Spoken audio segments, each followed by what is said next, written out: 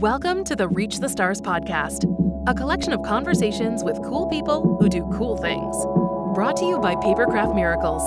Each week, we'll bring you inspiring stories of persistence, passion, and purpose. With your host, Jana Willoughby Lore. Hi, everyone. Welcome to the Reach to Stars podcast. I am your host, Jana Willoughby Lore. Today, my guest is Jennifer Etchegary, and she is kind of the guru of all things artificial intelligence and virtual reality in uh, the business that she's working in right now. So I'm going to let her tell you a little bit more about that. Welcome to the show. Thanks so much for having me. This is exciting. I, I love the idea of being able to talk to cool people, do cool things. What a great concept. Exactly. It's really fun. So tell us a little bit more about you and your and your story. How'd you get where you are and, and what is it exactly that you do? Sure. Um, so I am a emerging technology consultant, and so when I can define emerging tech, it's kind of anything like you had said earlier: artificial intelligence, uh, chatbots, so conversational AI, um, augmented reality, virtual reality. So there's a lot of um, cool applications that are available, and um, I help kind of connect um, vendors and businesses so they can quickly get their projects started. Um, it didn't, I, my story didn't always start like this. Uh, I wasn't in emerging tech. I actually come from a very uh, analyst uh, finance background. That's what I took in school. And um, through working through a, quite a few corporate jobs, I discovered that um, I am not a good employee. So, uh, hence um, you know i entrepreneurship's kind of always been in the cards for me and it's always been this burning little fire and it's taken me a few years to get i guess enough confidence and um, I guess just gumption to go for it. And ever since uh, starting the ChatC group, um, it's been an amazing adventure, and I wouldn't I wouldn't trade it. I would never go back to um, a corporate job again. so where where are you located? Right now, um, I'm located just outside Montreal, um, Quebec, but uh, we also have an office in Toronto and in Vancouver. Cool. Yeah. not too far from me. Well, no. Too far because I'm in Buffalo. Oh, yeah. Super close. Yeah. So, between working in finance, um, how did you end up getting into doing like virtual reality and, and stuff like that? Like, yeah, it's there's really no from connection standpoint, but I I find um, ever since I was young, I was kind of obsessed with um, trends and what was always happening in the future and what could happen and what could make things more efficient or better or just a better employee or user experience. And so you could most likely find me always googling like what's the next food trend or what's i'm a huge foodie as well um, what's the next um, uh, corporate trend that's going to help employees do this in HR or so I was always trying to understand that and um, and I also again have a very analytical background so always trying to make sure and put the numbers together so um, that's kind of how I got into more augmented reality virtuality and chatbots because I just found those applications to be fascinating and fun. And then I always was trying to, I guess, marry the corporate side of me with those new trends. And so that's kind of how the ChatC group uh, started. Cool. Yeah. So do you actually like do all the technology part yourself, or are you kind of like the middleman in between like the people who are making all that stuff happen and the people who need it?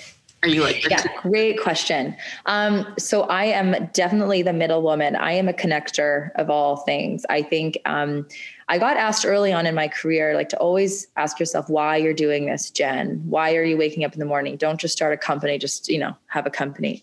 And um, as I started the ChatC group, and I always kind of had that in the back of my head, why?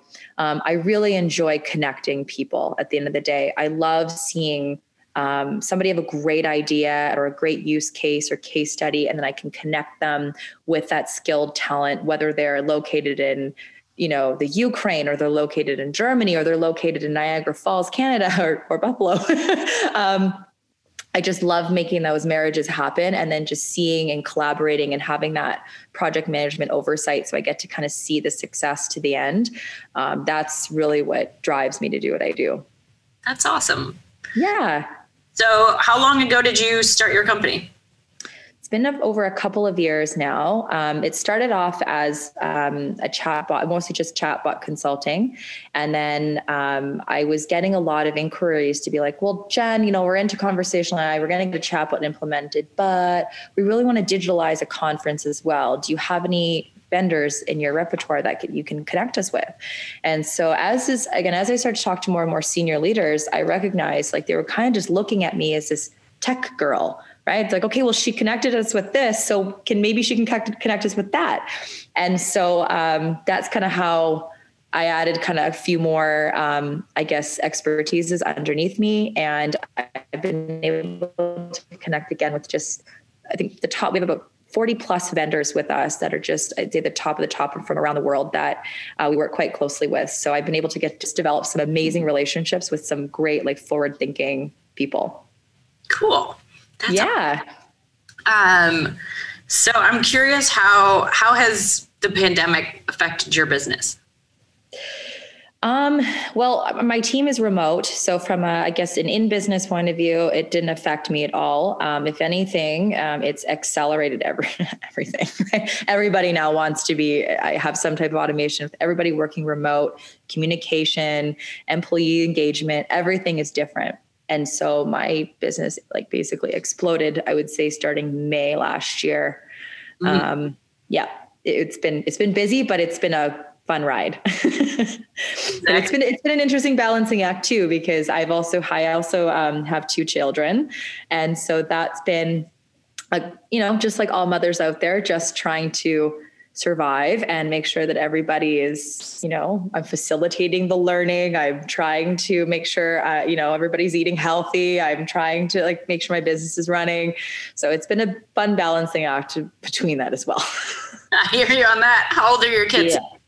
My kids are going to be six and eight this year so so, yeah, so I um I'm, I was a, a, young a young mom. I had kids when I, I think my son was about yeah, I was 24 when I had my son. So um, I guess maybe I can tell you a little bit if you don't mind. I can kind of tell you a little bit about my go for it past a little bit. Um, so I uh, had my I had my son I was 24. So I, none of my friends had kids. At I still my friends don't have kids at this age, which is like totally cool. And and so I didn't really have. Um, any resources or anything like, like that. And I think that's kind of where that entrepreneurial thing kind of started was because I started to get into just, I was at home, I had this baby and I was like, how, how can I make business? I was bored. And I was, I was always kind of trying to find a bit of a purpose at home because I just couldn't resonate with anything else around me or relate to anybody else. So um, I was working corporate um, uh, in uh, mutual fund sales, and I also worked at a big uh, financial institution.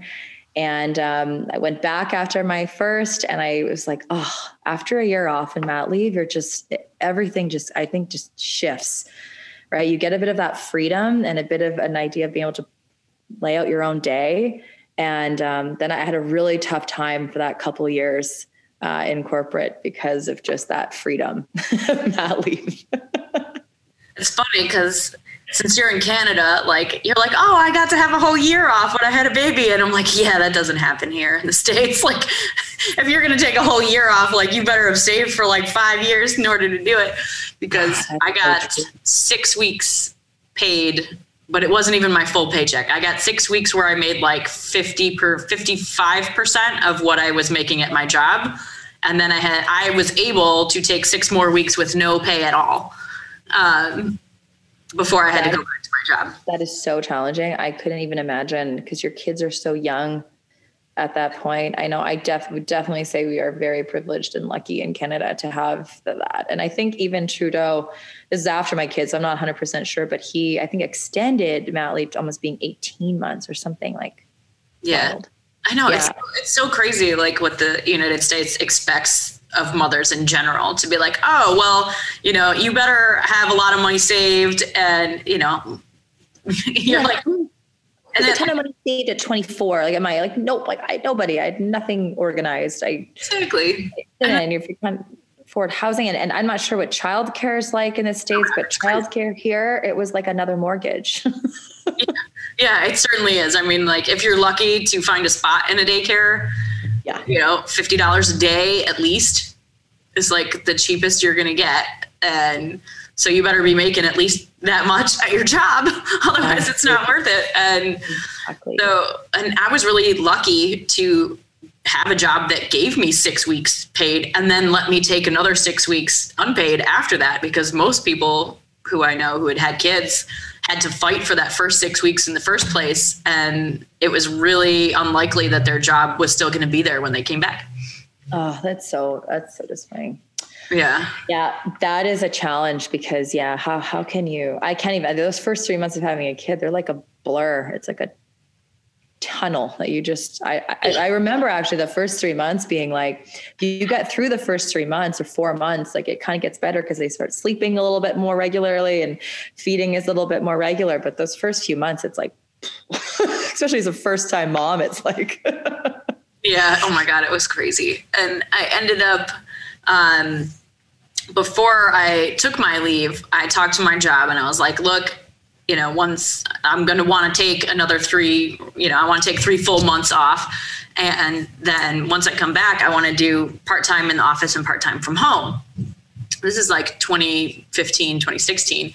And so I was like, I'll buy the same computer that I have at work so I can do because I was editing photos. So I was like, I needed to have okay. like a high power graphics computer to run all Adobe programs and stuff like that. So I was like, I'll have this, I'll buy, I'll put out my own money to like buy the computer and get the programs and do that and like set it up at home. And like twice a week I'll come in the office and like bring my work in that I did and I'll get more, you know, raw photos from you, take them home and edit them and then bring them back. And I'd been working there for like five years at this point. So they were like, okay, I guess we'll try it.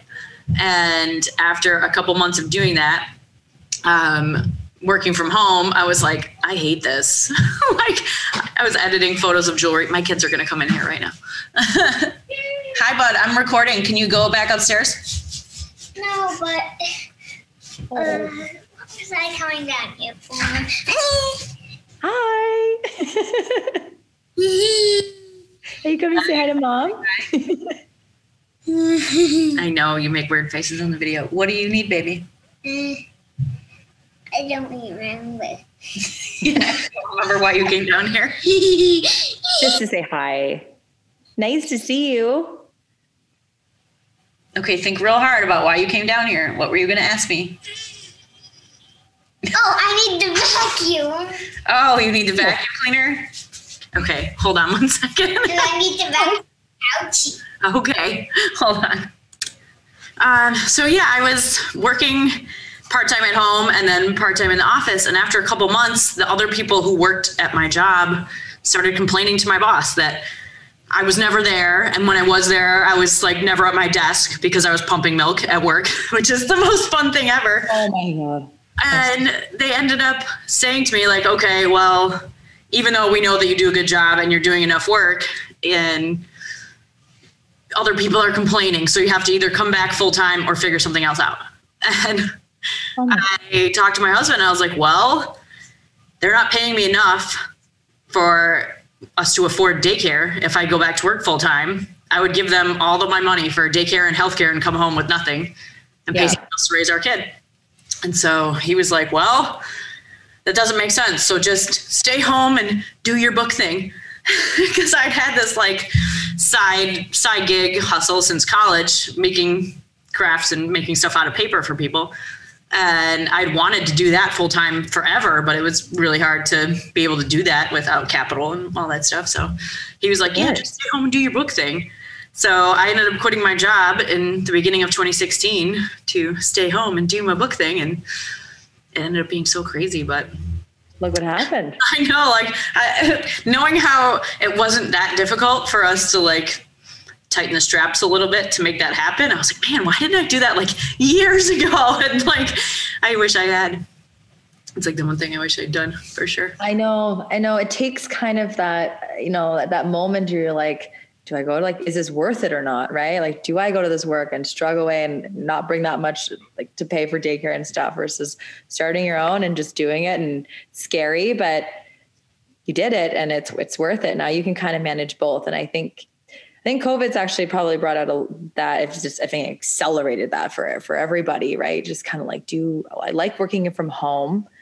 Do I want to go back to work once COVID is over? I know my I know a bunch of corporations we work with, they're doing a lot of employee surveys right now to be like, do you want to stay at home? Do you want to come here at work? And everyone, more or less, I feel like everybody likes a little bit of a hybrid, but I don't know if that will be allowed because just like you said, if certain people who are maybe 21, 22 don't have, or people don't have kids are at the office every day and then they don't then they don't see you at the office every day and you're going to miss those conversations. Or are you going to feel left out? Is going to create a negative mm-hmm. working space so they have a lot of poor hr they have a lot of different conversations and decisions to make yeah. about, yeah.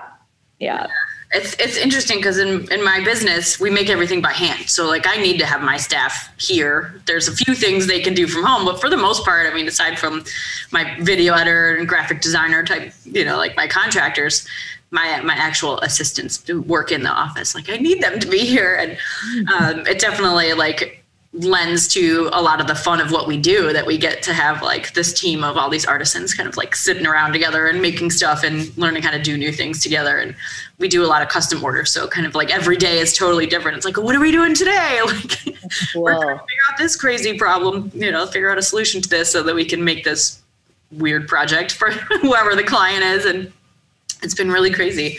Um and as far as like being a mother during COVID anyway is like I find it so difficult that there's just so many things that are expected of moms that I'm I'm finding are not as expected of dads.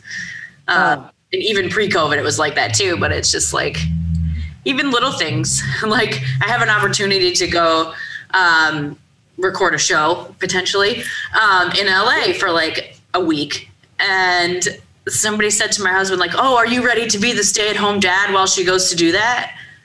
And i'm like um he has a job. Like he goes out of town for weeks at a time and like nobody says oh good for you for holding down the fort while he's gone. I'm like what is it? Why does he get bonus points because like i get to go do something i love for a week for my job? Like what is that? Like I know, I know. It's like they put, and I hate to say this, because I'm sure both like our, both of our husbands are great guys, but it's like they kind of put them on a bit of a pedestal, like, oh, you took the kids for a couple hours. Well, she did this, and you're like, yeah, like, course, right? Like you have to support each other. I, yeah, uh, it's it's a it's been an interesting thing uh, for sure, but I also think it's good for like my husband and I both have been working from home and now he's kind of been able to help with lunches and help with the things. And he also, I guess, to see all of the, I guess, behind the scenes work that moms do and are in charge of. And it's, I think, uh, yeah, it's a bit of a humbling experience. exactly.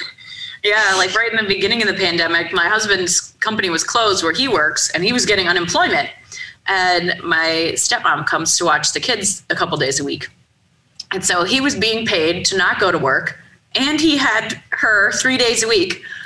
And I was like, okay, well, I'm trying to keep my company afloat. My main assistant had gotten another job, so it was just me. And I was getting all of these orders coming in because people really wanted to find a way to be connected and to send special gifts to people. And all the flower shops were closed, and we make paper flowers. So we were making like tons of flowers for funerals and stuff like that. But really, it was like me. I was making them all by myself because I had no staff and I couldn't have people here because our state was shut down. And it was so crazy. And I was working 12, 14 hours a day every day and he kept messaging like hey what's for dinner? I'm like you tell me what's for dinner. Like you are uh, being paid to not work right now and you have three days of help. Like i don't want to hear nothing from you. Like what? And he was just like oh you're not gonna like do all that stuff you were doing before? I'm like no no. Right now i'm the breadwinner and you're collecting unemployment. So he did get a taste of that for like the first month and yeah. It's crazy that like moms are expected to like give up your work time to do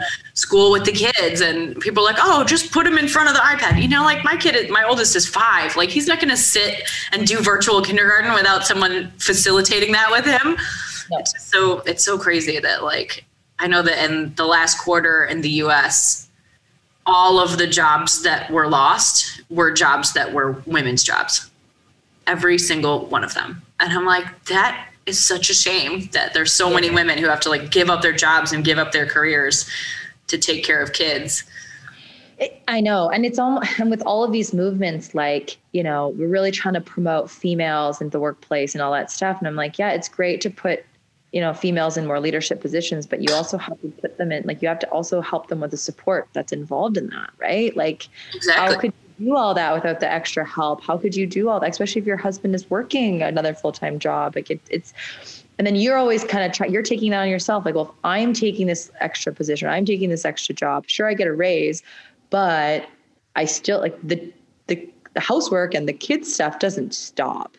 Right? especially it's, it's still there and we have like I we don't live close to any um, close family or anything like that, and so it's been a lot of it kind of expected of, of me at the beginning. And I think my husband and I had a pretty tough chat within about the first month of COVID. And I said, I'm, I'm drowning, right? Because my job, just kind of like you, mine accelerated like crazy. And so then I was like, oh my gosh, like, how am I going to handle all of this? Plus trying to get the kids organized and food and all of it, right? And yeah, yeah I'm going to need help, honey. You gotta, you gotta help. And so it's been, it's been good. You know, we're a year uh, into it and it's all okay. It's all good. But at the beginning it was pretty tough, but yeah. it's, I imagine it's, it's sad that all of these jobs are lost and predominantly women. And it's going to take years upon year, decades to kind of get that back up to parity. I know. It's so crazy. I mean, yeah. I'm super, super lucky to have my business be something that did not only survive, but has been growing like crazy since yeah. COVID. We tripled our revenue last year. Like it was crazy. God, that's amazing. What? I love hearing like that success, you know, and being able to do all that while being a mom and during COVID, like it's such a huge feat.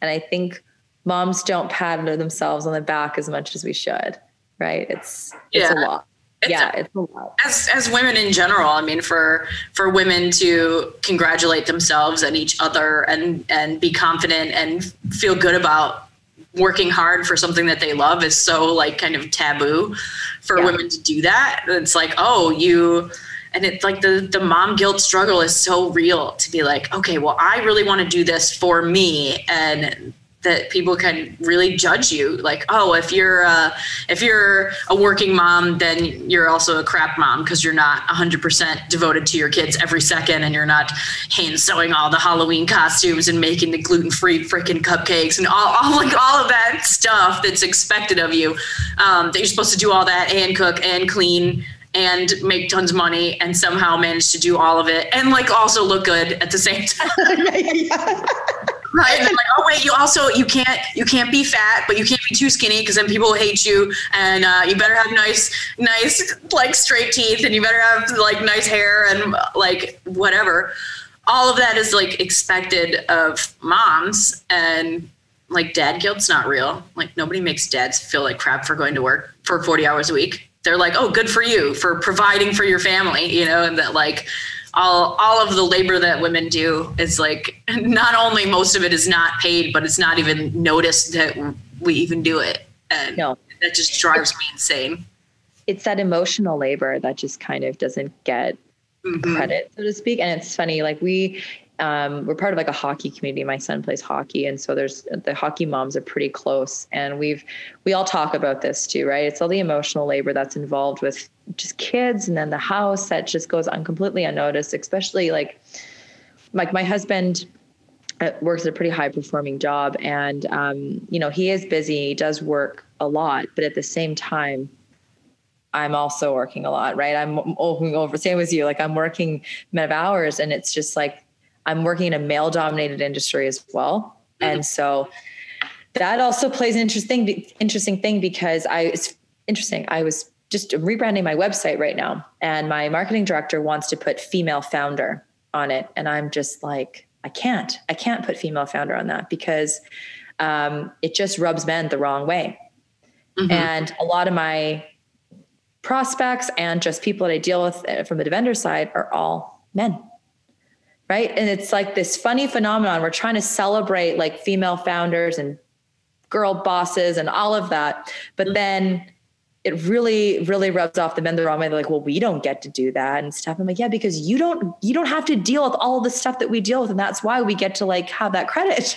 It's like exactly. you don't right? But they're just like well you're just a founder. And so I, it's, it's interesting. I'm going through this argument right now with my marketing director and i'm like i think i can only just put founder. I can't put female founder. Even though it would amplify and I get all of the female support and women owned businesses. It's I just I can't. Yeah. weird. I mean, Yeah. I guess in, in my industry, because I have like a, a craft business that um, I guess typically what I do would be would be done by women anyway. Um, but it's really been interesting. Like when I was going to in person networking events pre COVID, I did so many women's networking events for years with other women business owners and i was like man this is so great everybody's like working together and we want to collaborate and support each other and like share resources and stuff like that and then i went to this co-ed networking event the first time in like a year or so right before everything shut down for covid and I, I was talking to this guy and I was like, yeah, this is my company and this is what I do. Everything we do is handmade. And his only response to me was like, well, you're never going to be able to make a profit if you make everything by hand. And I looked at him like, I've made a profit every year I've been in business since I was 22 years old. So you, you can bite me, dude. Yeah. Put your negativity up out of my face. Like, what?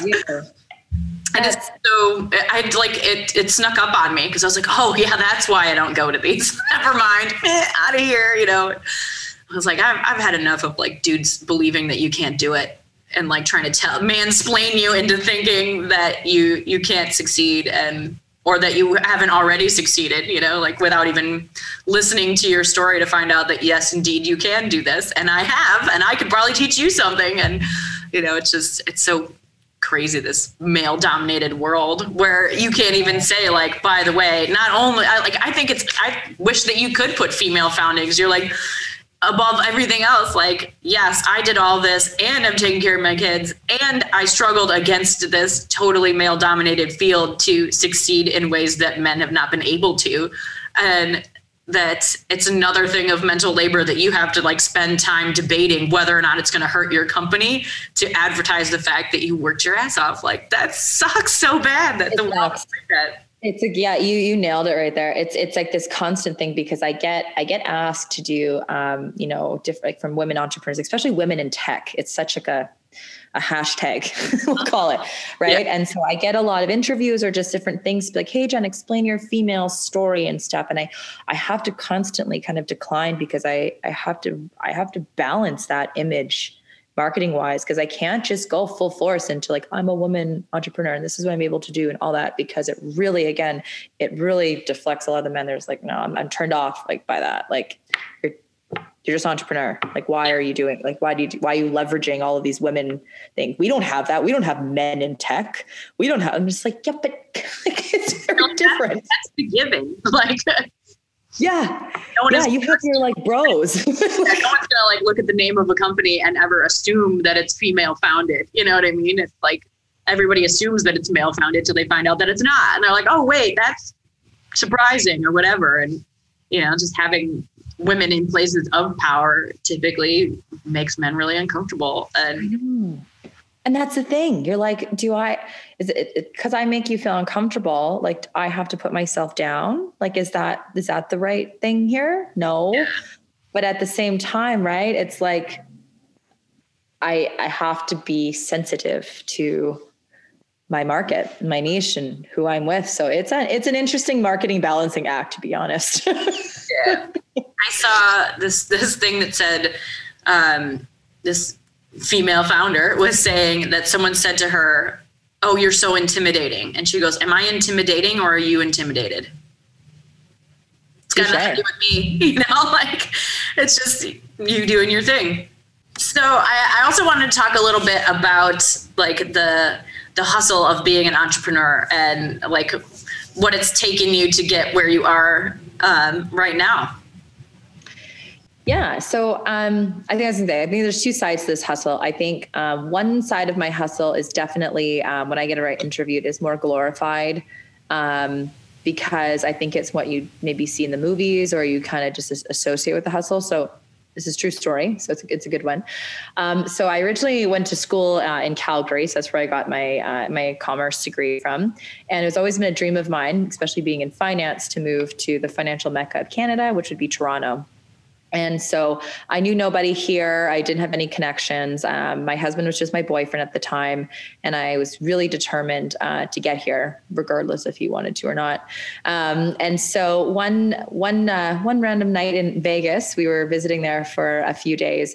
We were up in this really nice hotel overlooking, you know, the strip. And you know, we were living in Calgary, which is a beautiful city, but it just, it wasn't Toronto. And, um, and I said, you know what? Like, this resonates with me. I want to be in the busyness. I need to go. And I think at that point, he agreed with me.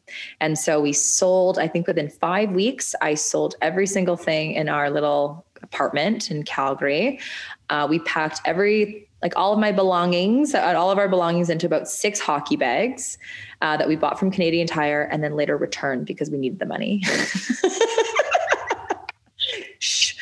and um, we took i had two dogs at the time and our two cats so it was like quite the little um, zoo we took a took a one way ticket over to toronto and um, we couldn't afford like that much and so we slept on an air mattress for i think nine months i did that I hustled. I went and dropped my resume off at a tons of different bars and pubs and just to get something um, immediately. And he ended up getting a job at a financial institution, which was his background.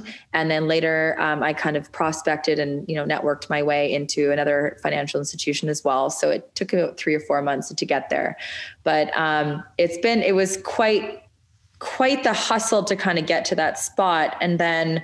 Um, get pregnant with a with a child and then that's actually when i found the hustle really started as much as that initial hustle was exciting and fun and it's a cool story to tell and it was a hard time in my life because we had no money and it was very to be very resourceful. I actually found as soon as I became pregnant and again really young and didn't really have much going for me that's kind of when i i really had to hustle so to speak right still working jobs still being a mom still having the resources still having to do it all but um, it's funny i i tried to save depending on what interview i'm at or what kind of what the journalist reporter needs I go to either hustle to kind of resonate with their audience more, and it shouldn't be like that. That's the thing, exactly. Right? Yeah, exactly. But it's it's been a, it's been a good journey, and you know, I I look back on it, and I'm super grateful for all of the challenges and the overcoming kind of nature of me because i think that's the biggest thing about being an entrepreneur is you know you're going to have days where it just kicks your ass and you're just like oh my god like am i in the right thing? Like, like am i going to die from this at an early age? Right? Because of all of the stress and anxiety and just big decisions that you have to make. Mm-hmm. but um, i think it was those those initial i think five or six years of the hustle and trying to get there that really kind of made me harder and, and stronger um, to push through uh, building the ChatC group. So it's been a good been a good ride, and I'm really excited that um, being in emerging tech and being a female, and um, I think I just have to kind of grow up and own it a little bit more and not care as much about what people think. And I think that's just part of me needing to grow and feel more comfortable. Awesome. Yeah. yeah. You know, we're all going to get there. we're all going to get there eventually you know, it, it has been really nice, kind of heartening, I guess, in the last five years to just see the way that there's there's certain things out in the world now that are just like not okay anymore to yeah. do. You know, and like it kind of snuck up on us. We're like, oh, man, like it's not okay to like treat women like crap in the workplace. You are going to get called out for it. It is going to follow you around forever. Like someone is going to film you and you are going to get called out. You know, like, you know, yeah. I, you know, I think that's my favorite thing that's come about because of smartphones. It's like documenting things that are yeah. and, and that the, the the regular person on the street could make a real big difference by recording something and saying, "Yeah, you want to say that doesn't happen? I proof it does." Um, yeah, it's really that's cool. actually a very good point. Awesome. So at the end of all of the shows, I asked all the guests the same five questions. So it's five question time. Okay. The first question is Tell me about an experience that shaped who you are today. My parents' divorce, for sure. Uh, my parents got divorced, and I was just, I guess, in my first year university. So I was about 19. And uh, my mom moved away with my brother, and I stayed uh, in Calgary to finish my degree with my dad and uh, you know other than the emotional stress that happened um, it really made me grow up quick because i didn't have that parental support. And so i had to be independent right away. And um, i think just again from a challenge and overcoming perspective that changed a lot uh, for me just kind of like i'm on my own and i can do this. So mm-hmm. yeah.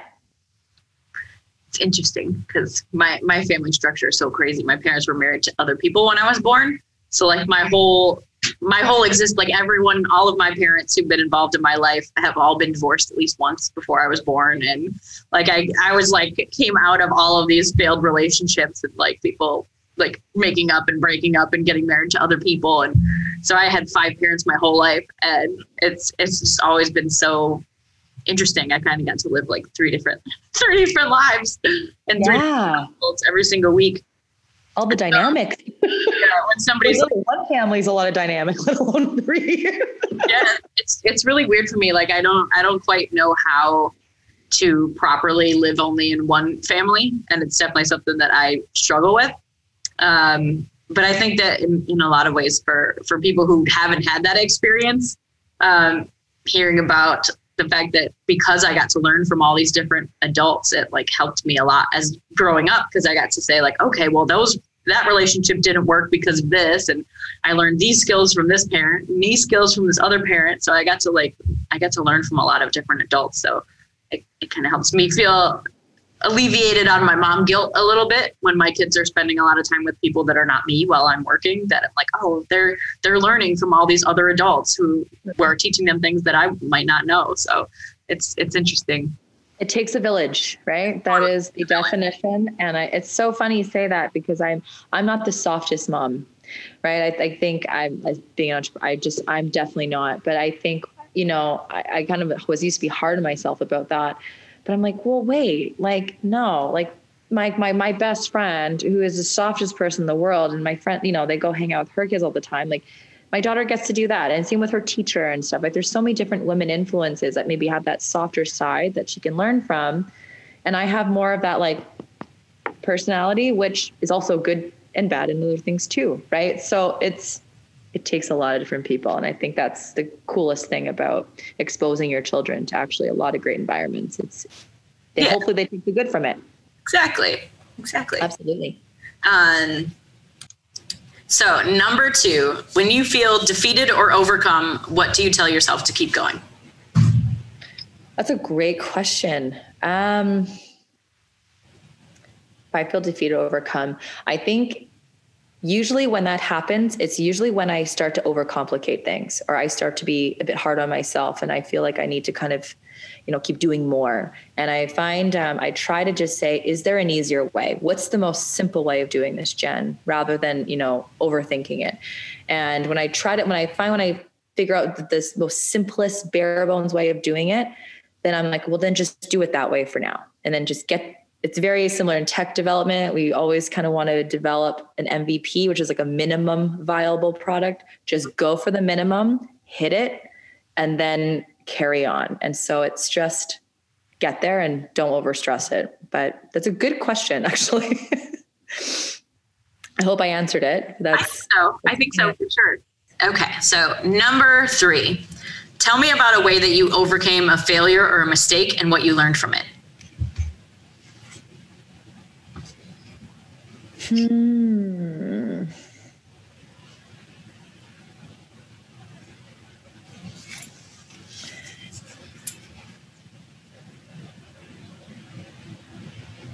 Trying to think. It's probably would be um, in my old uh, corporate job. I made the mistake of kind of funny of not of not being on the good side of a pretty high up female VP. I think I was intimidating a little bit, and I. Um, kind of said some words about her that I that I definitely and I kind of got around to the to the couple of office things. I didn't respect her, to be honest, and um, and it definitely got back to me. My my boss had to have a chat with me, and and we had a very like interesting dialogue about it. But looking back, I was very ashamed. I was very guilty. I felt really bad. But at the same time, what I said was not disrespectful. It was just very truthful about how she handled the situation. And it wasn't what it was very poorly handled. And I think now that I'm not in corporate and I look back on that, um, I was just being very honest at the time. And I think in corporate, it wasn't accepted to be honest. And I felt bad about being honest about how my, my opinion was. And I, I think how I now I view my team is I'm like, guys, I accept all feedback and I don't want anybody talking bad about each other. I just want us to have an open, honest dialogue because I care about you, how you feel. Your, your job's not a jeopardy if you say something or if you're disrespect, like whatever. Just tell me the feedback, um, because I think that fear that's instilled in that, in that corporate job it really hampered my my skill set and who I really was because I was always fearful of if I said something the wrong way, if I, if I wasn't as diplomatic enough, it could be perceived a certain way. And I just stopped being myself. And now that I run my own company, I'm just like, no, that's not the case. Honesty is the best way possible. And um, I, I just, I learned from that the tough way, but in a, in a good way, I think in the future. Um, yeah, I think that would be one that was like, definitely was a tough one to swallow. That is such a good lesson and that it's like leading you to create like a, a culture in your workplace that is not like that at all. And I think awesome. You don't need to be you don't need to be diplomatic with me. I'm I'm a very straightforward person, and I've learned that. Um, although it's intimidating sometimes to be speaking with a female, maybe who's straightforward and blunt and honest and direct, it's who I am. And like it's it's part of my my strengths actually. And I rather than view it as a weakness and feel like I need to be a certain array around certain superiors, I'm just like, no, we're all at the same. We just have different skill set and different roles. That's it. Yeah. And someone just has a little bit more stress. That's the owner. That's it. oh man. Okay, number four. What one trait or habit is most responsible for keeping you on track? My determination, for sure. Persistence, determination stubbornness maybe as well. yeah, right here too. yeah. I love these questions because everybody answers them in a totally different way. So sometimes when I ask that question, people are like, "Oh, I drink tea every morning." Oh, you know what I mean? It's just I just love the way that different people's minds think about the questions, and it's like it's just it's really telling about the, a person's personality with the way that they perceive these questions and like what what it means to them when they're asked that. And like i kind of made them purposely like a little vague um, because i love just hearing the ways that different different people respond to them. I think it's so cool. No that is a good, that is really cool. And i think I also will build, I think, a little bit would be I think the biggest thing about me being successful as an entrepreneur is um, being open to hearing about how other people have succeeded and surrounding myself with successful people that I look up to. I'm always reading and researching and trying to find the best hacks, so to speak, that other people have um, given. And I always take the advice and go for it. I think my openness to receiving feedback is also, I think, something I've grown into.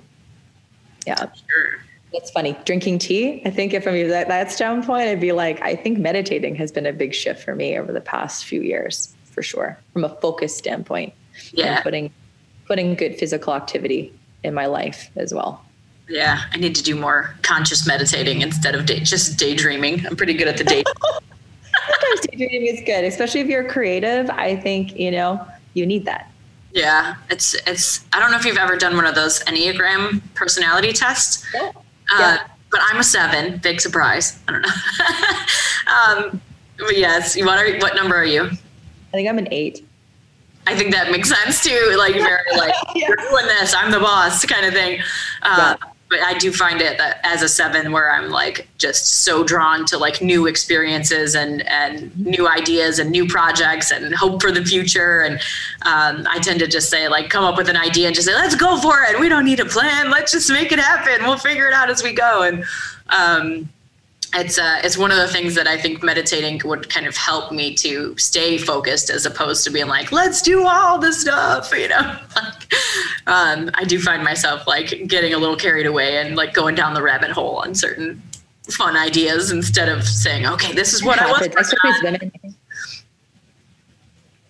Especially as women. Exactly. Well, yeah, I think as women, you're just you're always multitasking, right? And so uh-huh. you just kind of and like especially if you love new cool things, I like that too. I'm very similar that way, and so you're just excited, and you're like, okay, I know I can, I'm capable of it. So like, let's just do it. yeah, exactly. Like who knows what's going to go wrong, but we won't know until we get there. And then yeah, exactly. yeah. Just time. The 24 hour thing is just really restricting. yes. Seriously. When people tell me they're bored, I'm like, who are you? Yeah. You have time and not stuff to do. Who, are, what the hell have you been doing with your life? Like, what is your hack? How do you, what do you do? I'm like, I, I, would never want to be bored. I'm like, man, every, every minute of the day, I'm like, oh, I could be doing this. I'm going to go do this. I'm going to do it. Like, who doesn't have that like intense, crazy long, someday I'm going to do this list? Like, I, I don't even know what it's like to have time sitting there without an idea of what I could be doing with it. You know, I, I just, my mom told me when I was in kindergarten, I told her that kindergarten was boring on the first day. And she said, if you're bored, you're not trying hard enough. And it really like stuck with me. And I totally just think about that like every day of my life. Which leads me to question number five What's the best piece of advice you've ever gotten? And what advice would you give to other people? Um, what's the best advice that I've ever gotten? Um, this might sound, I guess, a bit tacky, but I think earlier in my my years, I didn't quite own it. But I um, kind of just like focus focus on your strengths, not your weaknesses. And if you can't, um, and if you have the funds, outsource the things that you that you view as weaknesses to you. And um, especially as a business owner, um, I try. You know, you, we wear all the hats possible, and some I really suck at and I think I try and I try and I hit my head against the wall, and, I, and then I try to remember. I'm like, this is not a core strength of mine. I, I, I, can give you an outline, I can give you a visionary about it, but I'm going to outsource it. And ever since I've had that mentality of just not thinking I have to do it all, I can just play to my strengths and outsource as much as I can to other professionals.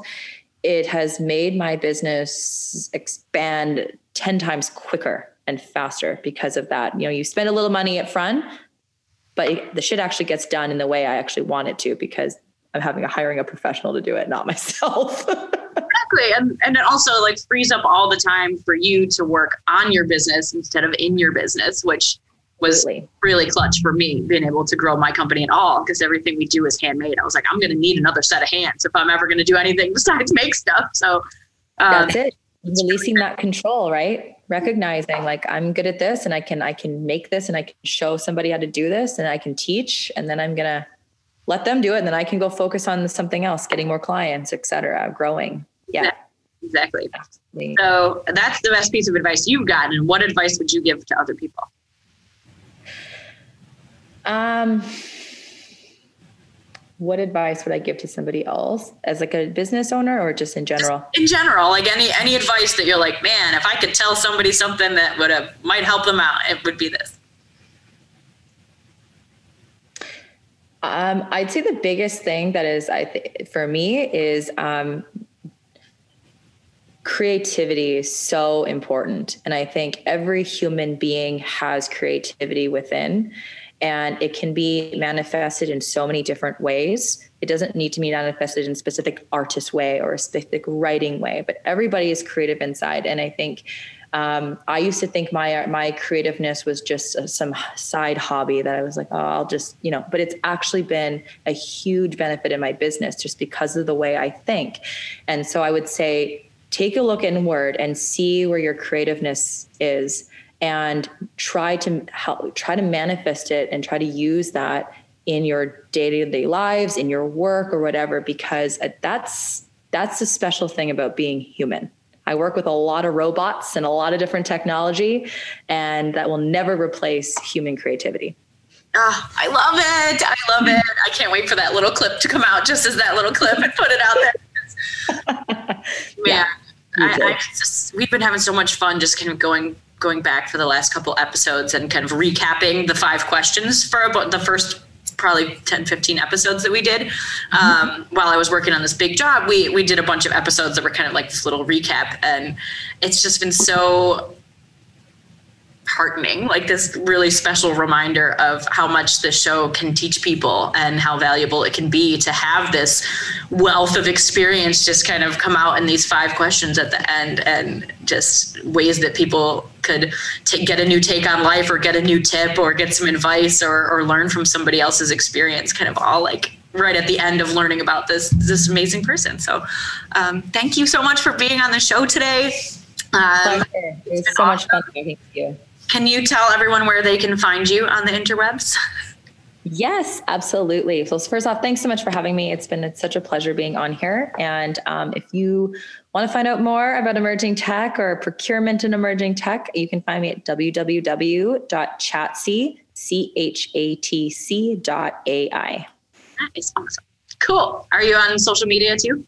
I am. I, we are the ChatC group um, on, I think, LinkedIn, Facebook, Instagram. And then you can always, if you want to view my personal one, which I post a lot of, especially on LinkedIn, because that's kind of where my my realm and my world is. Um, mine, it's Jennifer Etchegary um, is my handle. And I post a lot of like fun, cool, creative things that are coming out in tech, but at the same time, a lot of personal stories as well, how I teach my kids with with what I'm learning as an entrepreneur. And um, yeah, awesome. So if he finds a good nugget in there, you never know.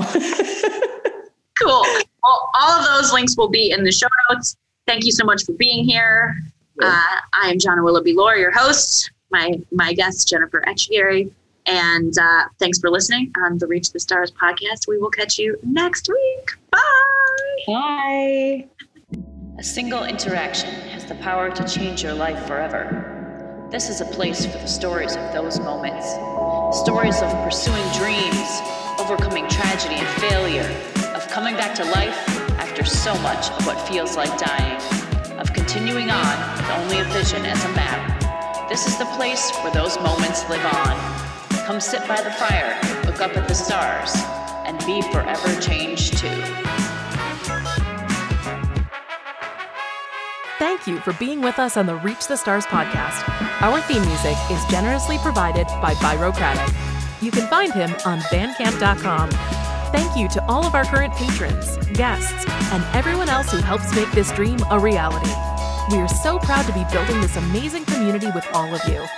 If you love this podcast, please consider sharing with a friend, leaving a review on iTunes, and becoming a patron at www.patreon.com slash reach the stars. Don't forget to subscribe to our YouTube channel to see the videos of these conversations. We'll see you next week. In the meantime, do something cool and tell us about it.